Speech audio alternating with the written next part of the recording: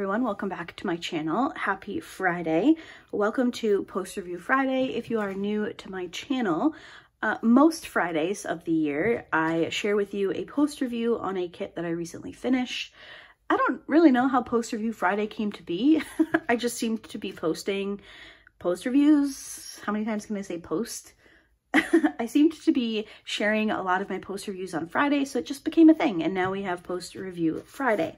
So in today's video, I will be talking to you all about this finish, which is my second finish for January.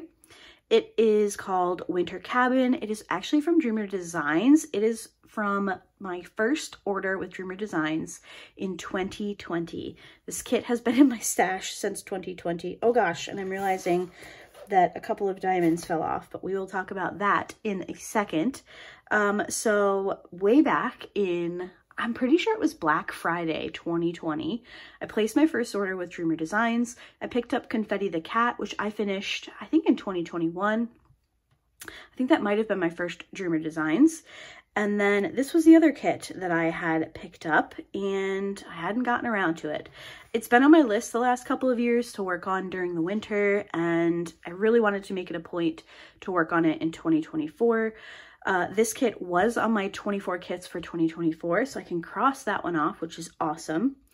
Um, this is a, I don't have, I did not fill out my logbook for this one. Dang it.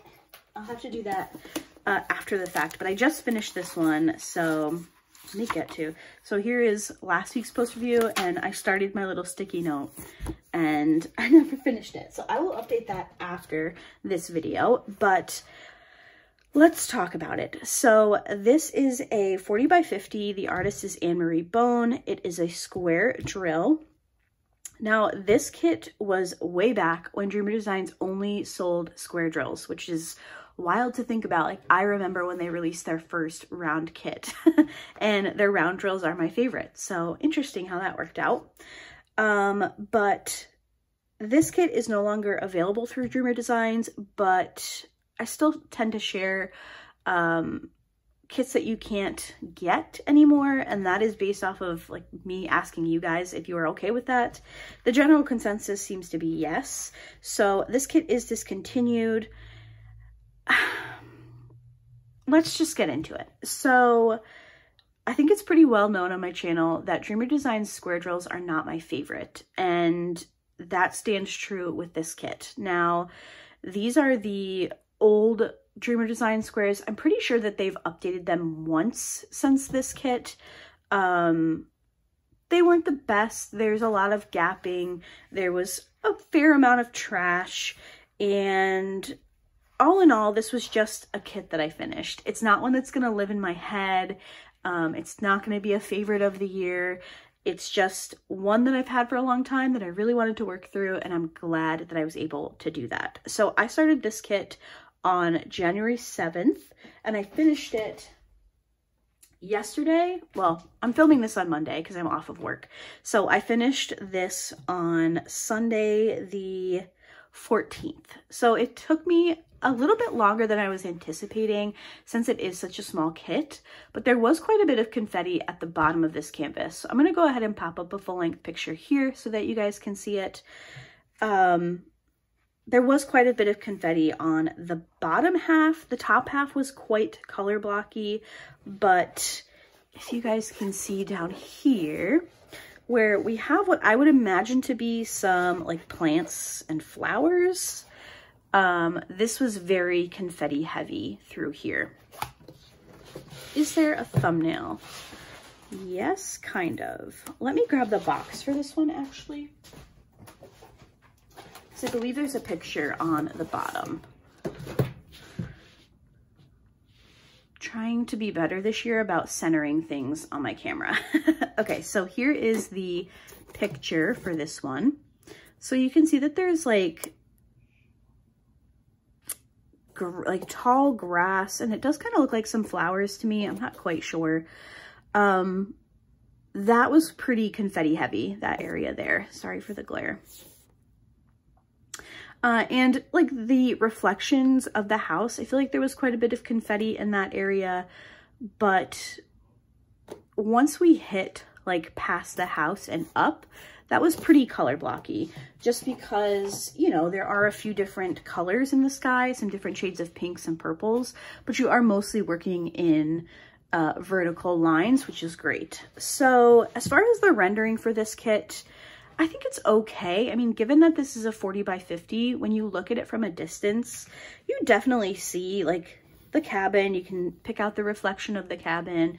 The tree came out really nicely. I think the mountain back here came out quite well.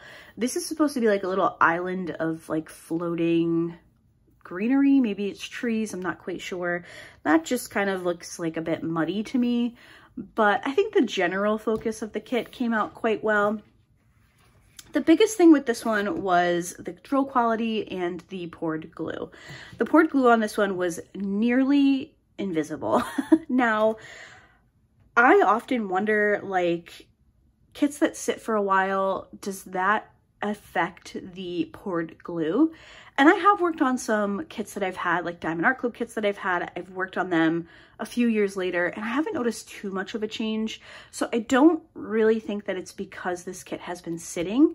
I do keep my kits in my house. Like they're not in my basement or anything. They are in the spare bedroom of our house um, protected from the sun. Like they're not exposed to the elements, I guess you could say.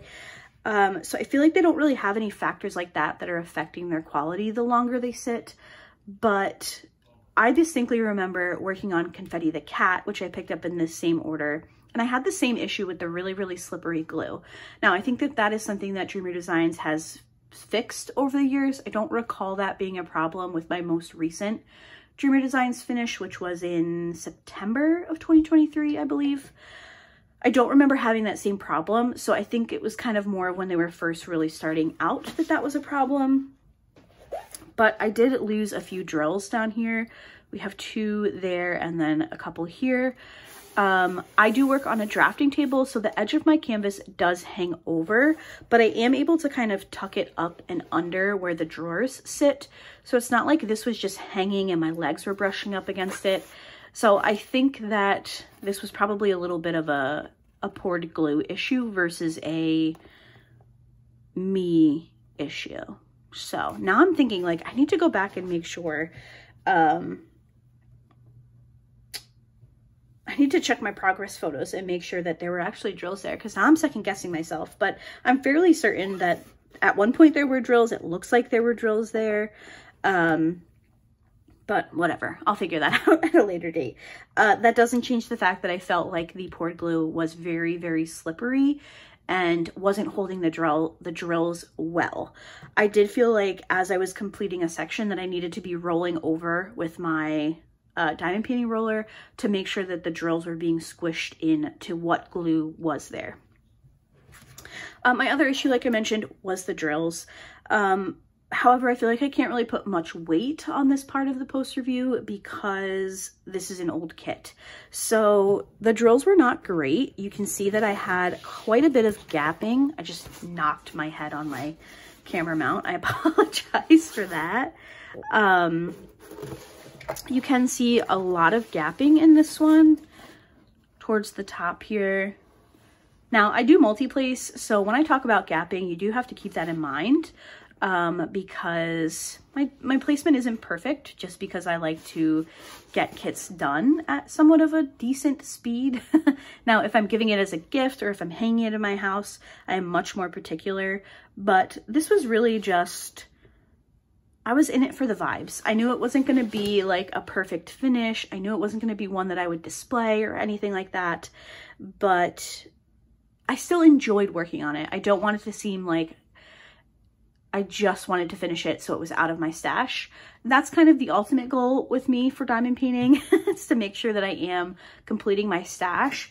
But I really just wanted to work on this one. It's been on my list for a few years and I'm happy that I was finally able to get to it.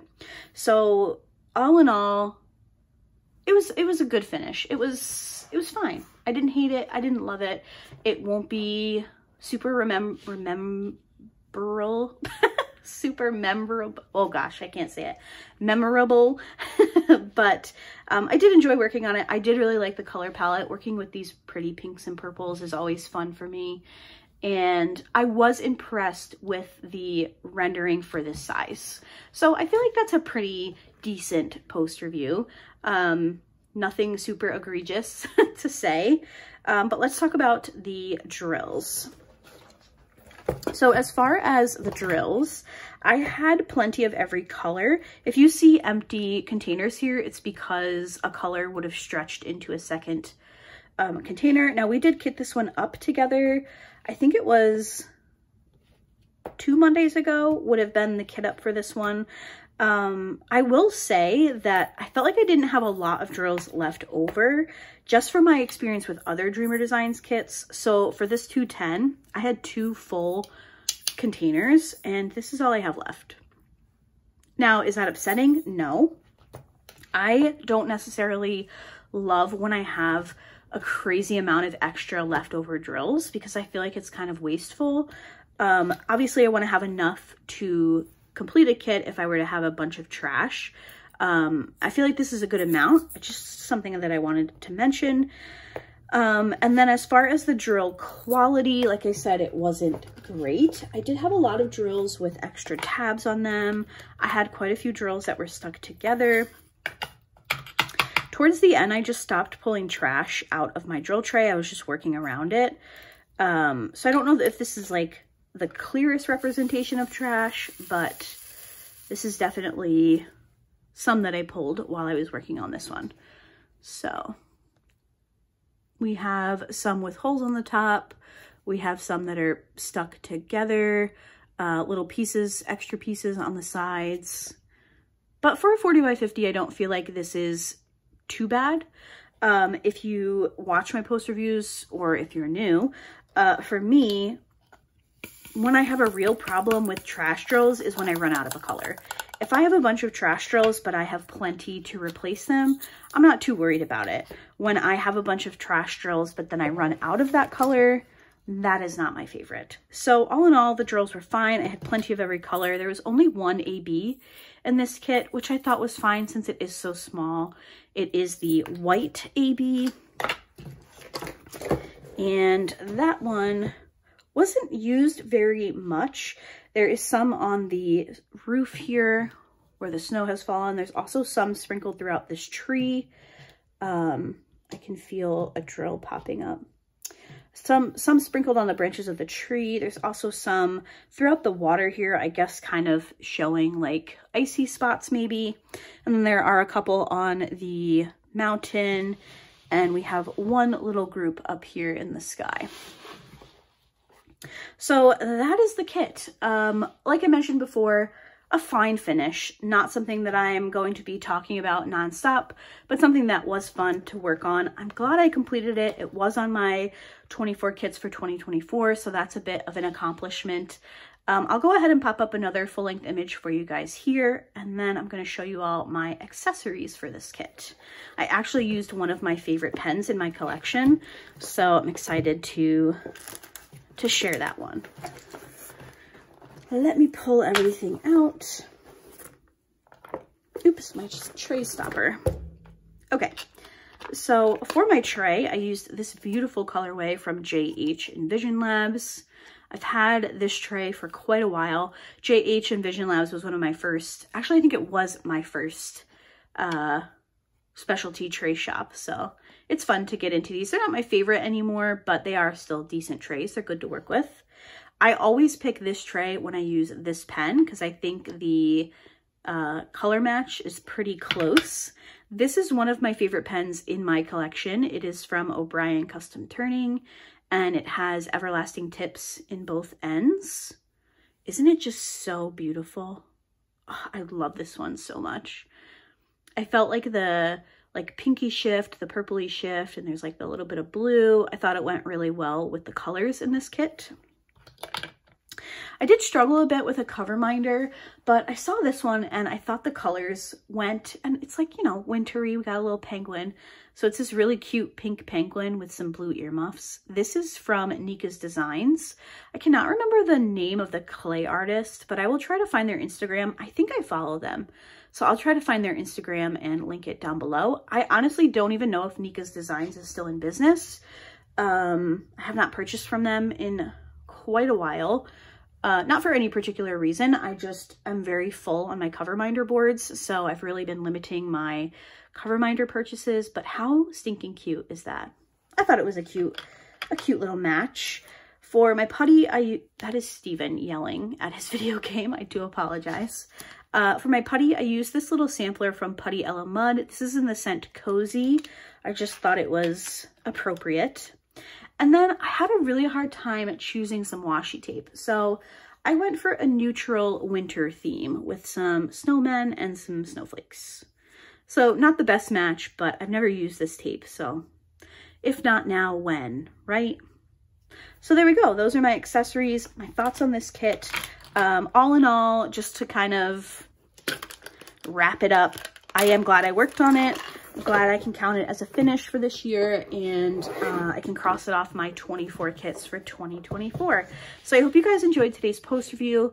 Uh, let me know your thoughts down below in the comments. I hope everybody has a great weekend and I will see you all on Monday. Bye.